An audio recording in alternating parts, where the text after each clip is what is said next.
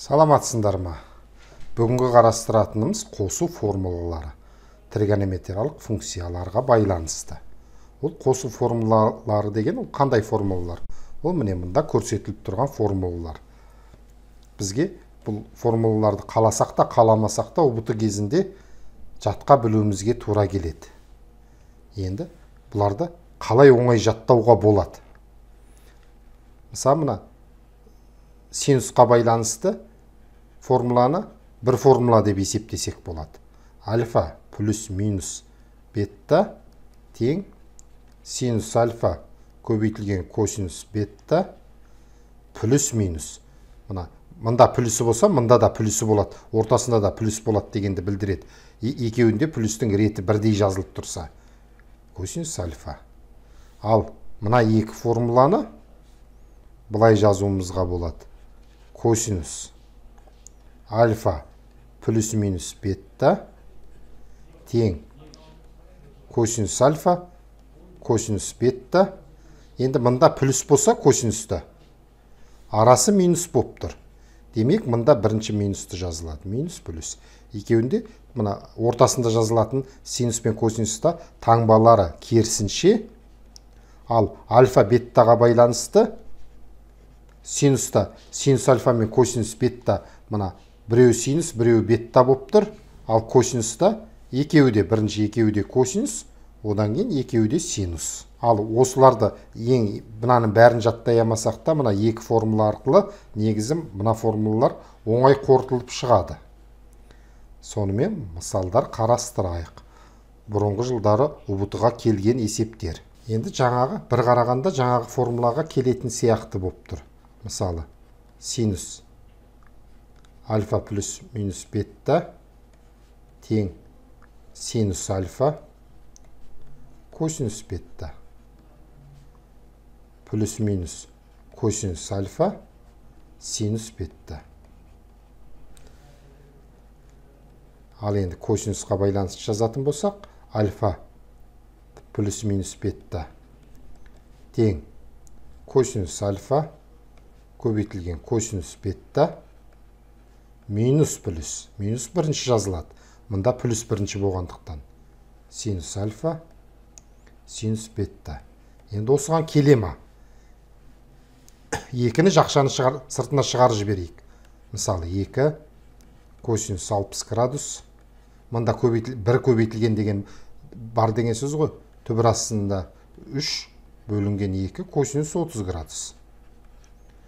Енді қарасақ мында мысалы мынау қандай да бір синус 30 градустың немесе косинус 30 градустың мәні болу керек. Мысалы мына синусқа келетін болса бұл жаңағы мынау бірінші тұр десек косинус беттаның орнында тұр десек мынау қандай да бір синус альфаның мәні. Синус 60 градустың мәні болсын дейік. Ал онда мында бір синус 30 градустың мәні болу керек. Ал бір синус 30 градустың мәні емес. Сондықтан бұл формулаға байланысты шықпайды. Бұны тікелей шығарамыз. Яғни мына өрнегіміз тең. Екі көбейтілген косинус 60 градус. Қанша? Ол екіден бір. Қосылған түбір астында үш. Косинус 30 градусымыз қанша? Ол түбір астында үш. Бөлінген екі. Болды бір.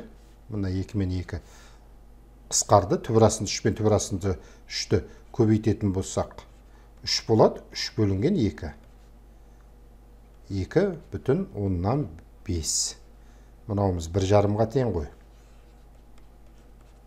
сонда жауабы д жауабы екен а е жауабы екен екі бүтін оннан бес енді келесі есеп енді бұл есепте бірінші өрнекті ықшамдап алайық бір қосылған мына екі синус альфа көбейтілген косинус альфа деп тұр бұл нені білдіреді? Синус екі альфаны білдіреді.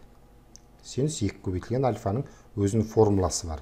Мында бөлек жазатын болсақ синус екі альфа ол тең екі синус альфа көбейтілген косинус альфа. Енді астында мына жақшаны жаз, ашайық.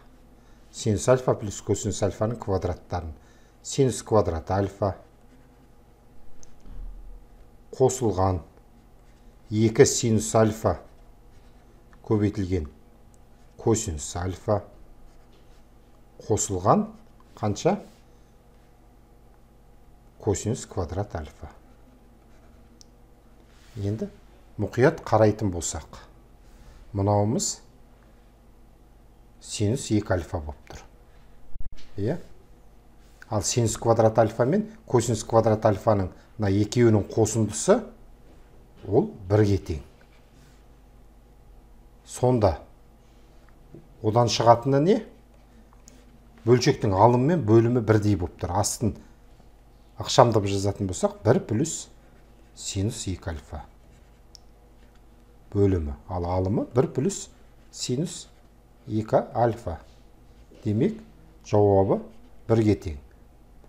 Екі бірдей санды бөлсек ол бірге тең. Демек с жауабы болады екен с нұсқасы. Келесі есеп мұнда. Синус альфа плюс беттаның формуласын пайдаланамыз. Есімізге түсірейік синус альфа плюс беттаның формуласы. Ол синус альфа көбейтілген косинус бетта.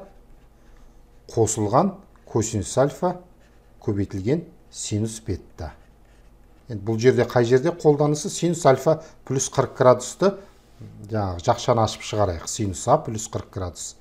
Яғни синус а көбейтілген косинус 40 градус. Қосылған косинус а көбейтілген синус 40 градус. Алынған косинус а көбейтілген синус 40 градус. Яғни екеуі бір бірімен жойылып кетіп тұр. Екеуі бір бірімен жойылды. Сонда бөлімінде косинус а көбейтілген косинус 40 градус қалды. Екеуі бір бірімен жойылып кетті. Косинус 40 градуспен косинус 40 градус қысқарады. Синус а бөлінген косинус а. Яғни тангенс а. Келесі мысал синус жоқ. Косинус альфа минус беттаның альфа плюс беттаның формуласын еске түсірейік. Бұнымыз қалай еді? Косинус альфа көбейтілген косинус бетта плюс болғанда минус минус синус альфа синус бетта. Енді біздегі мына өрнегіміз осы формулаға келіп тұр ма? Қарайық мысалы. Косинус 4 альфа плюс 3 альфа қалай жазылады. Ол косинус 4 альфа көбейтілген косинус 3 альфа алынған синус 4 альфа көбейтілген синус 3 альфа. Келіп тұр иә тек бұның арасына таңба қойсақ мысалы алдына минусты шығаратын болсақ минус бұл жерде синус 4 альфа көбейтілген синус 3 альфа минус косинус 4 альфа көбейтілген косинус 3 альфа болады. Яғни мына өрнегіміз мына есеп берілгендегі өрнекке пен бірдей жақшаның ішінде. Сонда мына есеп берілгені тең. Бұл не болады? Минус косинус 7 альфа ғой. Енді минус синус мына альфа минус пиді пи бөлінген екіні былай жазсақ болады ғой. Минус пи бөлінген екі минус альфа деп. Енді синуста мына аргументтің алдында минус тұрса ол мына функцияның алдына шығады. Өйткені егер біз осы жерден шатасып тұрсақ бірлік шеңбер сызамыз да мынау синус х қандай да бір. Мына мән ал синус минус х ол мына мән. Сонда модульдары бірдей тек таңбасы екі түрлі. Демек мына синус минус х ол минус синус х-қа тең. Сонымен минус косинус жеті альфа қосылған. Келтіру формуласында бұл косинусқа айналады ғой. Жарайды бірінші жазып алайық. Синус пи, пи бөлінген екі минус альфа. Енді ары келтіру формуласын пайдаланамыз. Косинус жеті альфа. Мына пи бөлінген екінің алдында тақсан тұр. Сондықтан функцияның атауы өзгереді. Ал таңбасы бірінші ширекте синустың таңбасы оң. Косинус альфа. Минус косинус жеті альфа. Немесе былай жазсақ та болады бәрібір. Косинус альфа алынған косинус жеті альфа. Бұның да басқа осыған сәйкес формулалар бар. Ары қарай қысқартып жаза беруге болады. Бірақ бізде бүгінгі тақырыптың аумағы ол синус альфа жақшаның ішінде альфа плюс минус бетта косинусқа тангенске байланысты есептер. Келесі есеп бұл жерде келтіру формулаларын еске түсіреміз міне. Тангенс үш пи бөлінген төрт. Егер осы жерде бұл келтіру формуласын мен қалай мына үш пи бөлінген төрт дегендің жатқа білмеуіміз мүмкін ғой мәні. Сондай жағдайда қалай істейміз? Үш пи, бөлінген төрт ол 45 градус екенін білеміз оны үшке көбейттік. Ол 135 135 дегеніміз не? 135 градус. Ол 90 плюс 45 ол пи бөлінген 2 плюс пи бөлінген 4 қайта тексеріп аламыз екеусін қостық мұнда екіден келеді үш пи бөлінген төрт сонда катангенс үш пи бөлінген төрт дегеніміз ол катангенс пи бөлінген екі қосылған пи бөлінген төрт келтіру формуласына келіп тұр қосылған косинус пи бөлінген екіде неге тең косинус 90 градуста егер біз ұмытпасақ бүйтіп бірлік шеңберді еске түсіреміз міне мына нүктенің иксі ол нөлге тең нөл. Синус екі пи бөлінген үшті тура осы сияқты градусқа айналдырып барып ол мысалы 120 градус ол 90 плюс 30 демек синус пи бөлінген 2 плюс пи бөлінген 6 ал кез келген градустың тангенсі мен котангенсін бір біріне көбейтетін болсақ олар бірге тең. Сонда минус 1 сонымен келтіру формуласында пи бөлінген екінің алдында тақсан тұр яғни не функцияның тригонометриялық функцияның атауы өзгереді. Котангенс тангенске. Одан кейін таңбасын қараймыз. Бұл екінші ширек. Екінші ширекте косинус теріс синус оң яғни теріс болады. Минус б минус алдында. Нөлді жазбаймыз. Мынау пи бөлінген екі яғни атауы өзгереді. Косинус пи бөлінген алты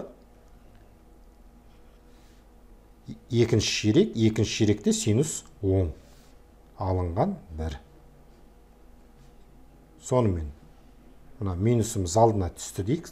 Тангенс пи бөлінген төртте ол бірге тең. Косинус пи бөлінген алтыда ол түбір астында үш бөлінген екі. Алынған бір. Жауабында әзірше дәл бұндай нұсқа тұрған жоқ. Сонымен минус бір бөлінген екі түбір астында үш алынған екі. Тең бұл төңкеріліп түседі. Минус екі бөлінген түбір астында үш алынған екі. Енді бұны мына минустан құтылуымызға болады. Екі екі алынған түбір астында үш. Енді жауаптың нұсқаларын бір қарайық. Біріншіге келмейді. Екіншіде ұқсап тұр бірақ алдында минус тұр. Үшіншіге мүлде келмейді төртіншіге де дға да келмейтін сияқты еға да келмейді. Енді бұндай жағдайда бөліміндегі иррационалдықтан құтылып көреміз. Бөлімдегі иррационалдықтан құтылатын болсақ алымында бөлімінде екі қосылған түбір астында үшке көбейтеміз. Екі қосылған түбір астында үш. Не себепті оған көбейттік? Өйткені бұл а квадрат минус б квадраттың формуласына келіп тұр ғой. А минус б а плюс б. Біздің жағдайда амыз екі да б ол түбір астында үш. Тең. Сонда екінің квадраты төрт түбір астында үштің квадраты үш. Ал алдында екі екі қосылған түбір астында үш. Ол тең екі көбейтілген екі қосылған түбір астында үш. Сонда мына д нұсқасымен сәйкес келеді екен. Келесі тапсырма. Бұл есепте тангенс 15 градустағы мәнін есептеу керек. Ал ол біздің әдетте есеп шығаруда қолданып жүрген таблицалық мәндердің ішінде 15 градус жоқ. 0 бар 30 45 90 бар. Содан соған еселі градустар. Сонда қалай істейміз бұл? Егер тангенске байланысты қосу формулаларын білмейміз деп есептейік. Бізге жаттау оңай екеуі синус пен косинус. Сонда бұл синус 15 градус бөлінген косинус 15 градус. Енді синустың косинустың 15 градустағы мәндері кестеде жоқ біздің. Жаттайтын стандарт кестемізде. Сондықтан қалай істеуге болады? Синус бұл 60 градус алынған 45 градус қой. 15 градусымыз соған тең. 60-тан 45 тасақ 15 косинус 60 градус алынған 45 градус. Ол тең. Енді бағанағы қосу формулаларын еске түсірейік. Синус альфа алынған синус бетта. Қалай сонда? Синус 60 градустан басталады көбейтілген. Косинус 45 градус. Алынған косинус 60 градус. Көбейтілген синус 45 градус. Ал косинусқа байланысты алу формуласы косинус 60 градус көбейтілген косинус 45 градус. Мұнда керісінше қосылған синус 60 градус көбейтілген синус 45 градус. Енді бұдағы мәндердің бәрін біз білеміз. Синус 60 градус ол түбір астында 3 бөлінген 2 косинус 45 градус ол түбір астында 2 бөлінген 2 немесе 1 бөлінген түбір астында 2 бәрібір. Косинус 60 градусымыз 2-ден 1-ге тең. Синус 45 градус түбір астында 2 бөлінген 2 мына косинус 60 градус. Үстінен а синус 60 градус түбір астында үш бөлінген екі. Косинус 60 градус екіден бірге тең. Косинус 45 градус түбір астында екі бөлінген екі. Қысқарып кетейін деп тұр. Синус 60 градус түбір астында үш бөлінген екі. Ал синус 45 градус түбір астында екі бөлінген екі. Бұл синус пен косинустың 45 градустағы мәндері бірдей. Бұда түбір астында екі бөлінген екіні жақшаның сыртына шығарсақ мейлі жазайық жақшаның сыртына шығарып. Түбір астында екі бөлінген екі. Астында түбір астында түбір астында екі бөлінген екі. Сонда түбір астында үш бөлінген екі. Алынған екіден бір.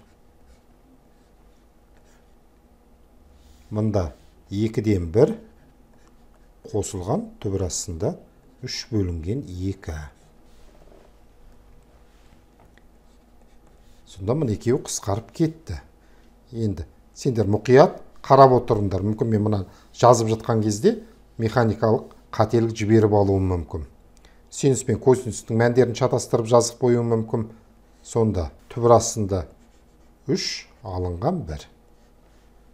Ал бөлімінде екі бір плюс түбір астында үш. Тең. Екі мен екі қысқарып кетеді.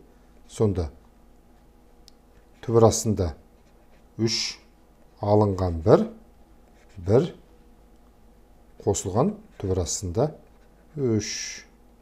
Бұны енді бөлімдегі иррационалдықтан құтылып жазуымызға да болады. Екеусінде бөл, бөлшектің алымында бөлімінде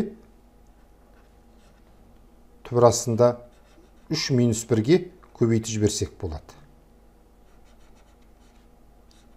Енді түбір астында үш минус бірдің сонда квадраты болады. Тең. Бөлшектің алымында үш қосылған. Екі түбір астында үш алынған. Қосылған емес. Алынған. Қосылған бір енді ал бөлімінде үш алынған бір екі. Сонда төрт алынған екі түбір астында үш бөлінген екі. Бұнымыз тең болады. Екіні жақшаның сыртына шығарып мына екімен бөлімдегі қысқартатын болсақ екі алынған түбір астында үш екен. Міне. Тангенс 15 градустағы мәні әрине біз тангенс альфа минус беттаға байланысты формуланы жатқа білсек оны да қолдануға болады бізге енді ұбт ға дайындықтағы ең негізгі тиімді дүние тиімді стратегия дейік формулаларды неғұрлым аз жатқа білу арқылы шығару әрқашанда тиімді формула есімізде болады деген нәрсеге арқа сүйеуге болмайды ол кез келген моментте ол есіңнен шығып кетуі мүмкін немесе бір плюс минусын шатастырып алуың мүмкін. Оны қорытып шығаруға кейбір жағдайда уақыт көп керек. Сондықтан неғұрлым аз формула арқылы есеп шығарып дағдыланғанымыз абзал. Сонымен келесі есеп тангенс альфаның мәні белгілі. Енді соны пайдалана отырып яғни тангенс альфаның екіге тең екендігін біле отырып мына өрнектің мәнін табу керек. Синус альфа алынған. Косинус альфа бөлінген. Синус альфа қосылған косинус альфа енді бөлшектің бөлімінде алымында косинус альфаға бөліп жіберейік. Одан бөлшектің мәні өзгермейді. Сонда синус альфа бөлінген косинус альфа алынған бір енді косинус альфаны косинус альфаға бөлдік қой. Синус альфа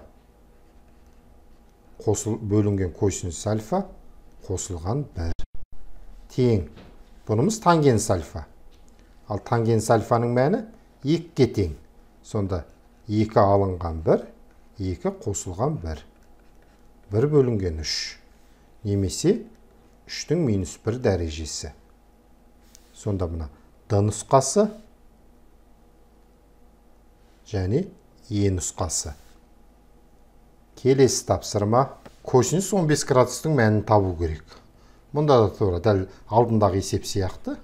Бұл косинус 60 градус алынған 45 градус. Тең. Формуланы еске аламыз. Косинус альфа яғни косинус 60 градус көбейтілген косинус 45 градус. Алынған синус 60 градус көбейтілген синус 45 градус. Тең енді бұлардың әрқайсысының мәнін білеміз.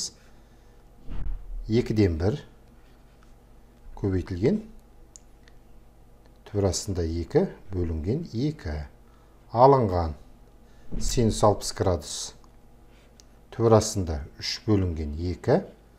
Көбейтілген синус 45 градус. Түбір астында екі бөлінген екі. Сонда түбір астында төрт ортақ бөлімі төрт. Түбір астында екіні жақшаның сыртына шығарсақ жақшаның ішінде бір алынған. Түбір астында үш қалады. Немесе басқаша жазатын болсақ түбір астында екі алынған. Түбір астында екі мен түбір астында үшті көбейтетін болсақ түбір астында алты бөлінген төрт. Мына жауаптар нұсқасында қайсы тұрғанына байланысты ғой.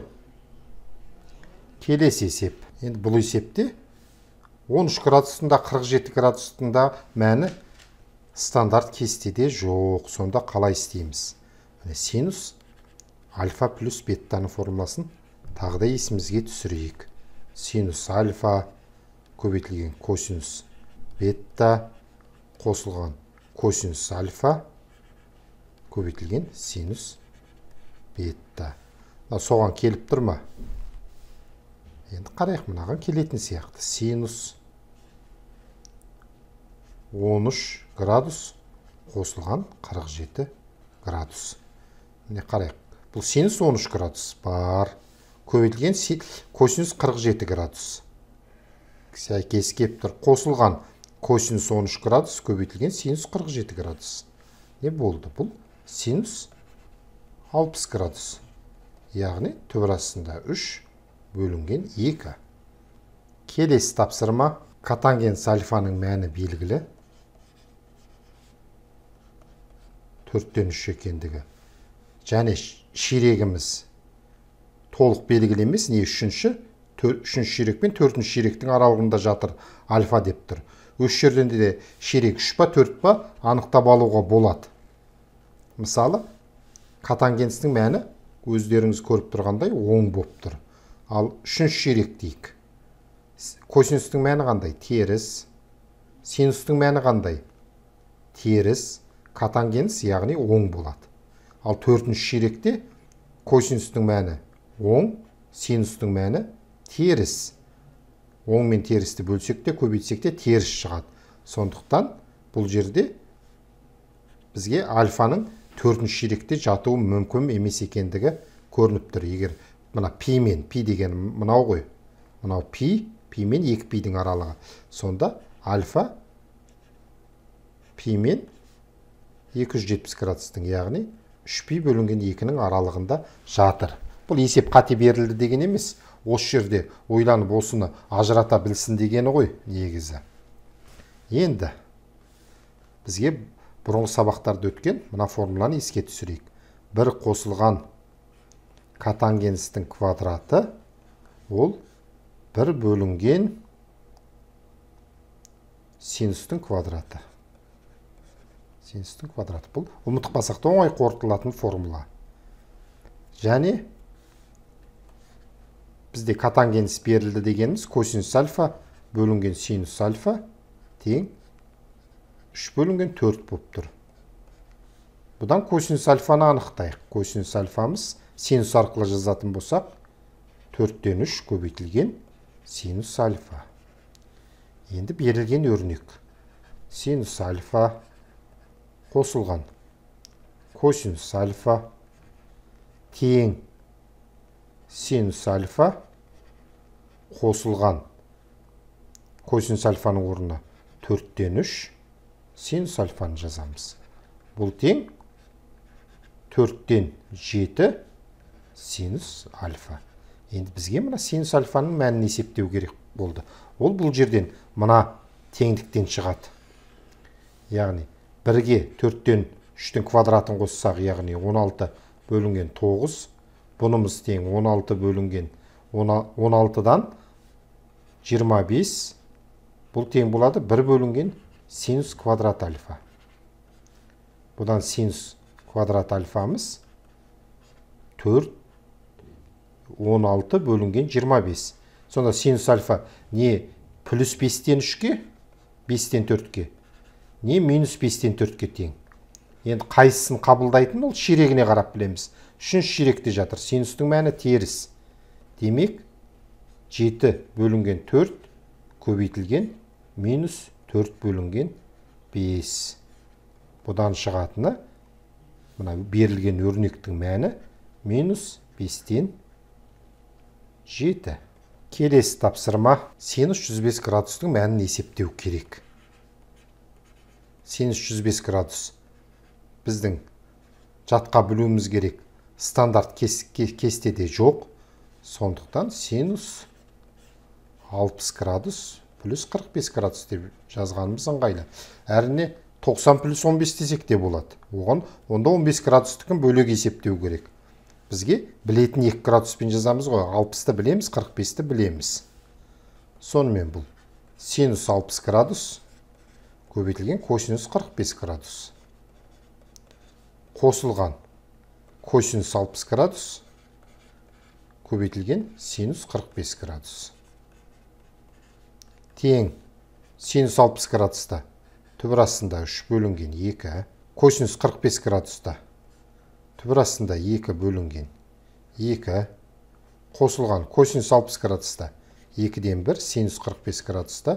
Түбір астында 2 бөлінген 2 сонда 4 түбір астында 6 қосылған түбір астында екі болады екен. Міне жауабы. Келесі тапсырма өрнекті ықшамдау керек бұл жерде егер косинус альфа минус беттаның формуласын еске түсірсек бұл косинус альфа көбейтілген косинус бетта алынған синус альфа көбейтілген синус бетта. Енді қосылған. Енді бұда альфаның орнында мысалы. Альфа бөлінген 2 беттаның орнында 2 альфа тұр деп есептесек соған келеді. Енді тексеріп көрейік. Косинус альфа бөлінген 2 алынған 2 альфа. 2 альфа алынған альфа бөлінген 2 десек те болады. Бәрібір. Бәрібір екенін содан кейін қазір көрсетеміз. Бұл шынында да тексеретін болсақ косинус альфа бөлінген 2 көбейтілген косинус 2 альфа қосылған синус альфа бөлінген 2 көбейтілген синус 2 альфа. Енді косинуста мына бірлік шеңберді еске түсіретін болсақ қандай да бір косинус x бұдан мына мәні мынау мына нүктенің координатасы x өсіндегі. Ал косинус минус x'іміз екеуі бір біріне сәйкес кеп тұр. Яғни косинус минус иксіміз косинус иксқа тең. Демек косинус альфа бөлінген 2 минус 2 альфамыз 2 альфа алынған альфа бөлінген 2-ке тең. Демек сонда жауабы 2 альфа алынған альфа бөлінген 2 тең косинус. 2 дейік. Мына 2 мен альфа ұқсас жазылады екен. 4 альфа алынған альфа. Сонда тең жауабы. 3 альфа бөлінген 2 мына екі косинус бөліп тұрған жоқ мына аргументтің ішінде ғой градустың ішінде. Және біз ұмытып кетпеуіміз керек. Мысалы косинус x бөлінген 2 мен косинус x бөлінген 2-ні шатастырып алмауымыз керек. Мында x бөлінген 2 аргументінде ал мында косинустың өзі бөлініп тұр. Сонымен тригонометрия бойынша қосу формулаларына арналған есептерді сабағымыз аяқталды. Келесі тақырып енді қарастыратынымыз. Ол тригонометриялық функцияларға арифметикалық амалдар дейді. Сабағымыз аяқталды. Сау болыңдар.